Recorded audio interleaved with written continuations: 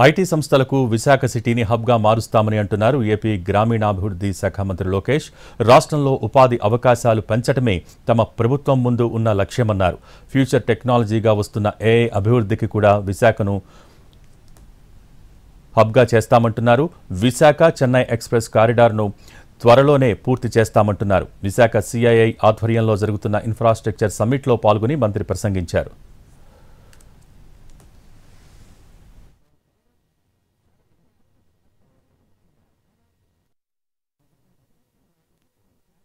Transform the way, and we believe it will be first of its kind uh, in the nation, and we're going to launch it in the next 100 days.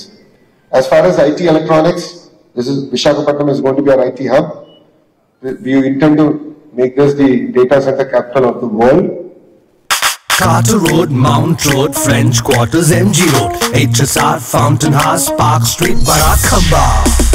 We've been here, everywhere. And AI is like the refinery.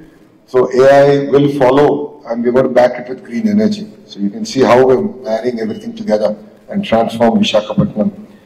Uh, saying that new policies are on its way, the IT policy, the GCC policy, uh, the data center policies are, are being crafted and we intend to launch them soon. Parallelly, we are, we have revived the Economic Development Board Economic Development Board will be the single port to call for any investor, any financier here uh, into the state of Andhra Pradesh. It's being led by a very young IAS officer, but the entire team under him are IITians, IIM grads, and other uh, other youngsters who come out of Ivy League schools driving the entire initiative.